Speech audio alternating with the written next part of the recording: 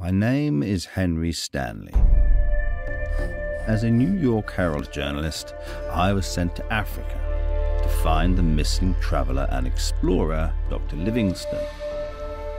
After many months of searching, I managed to reach the village of Ujiji, where, as I heard, there is an elderly white man. Hoping that I had reached my destination, I crossed the threshold of the house indicated by the natives, asking myself the question, what will I find here?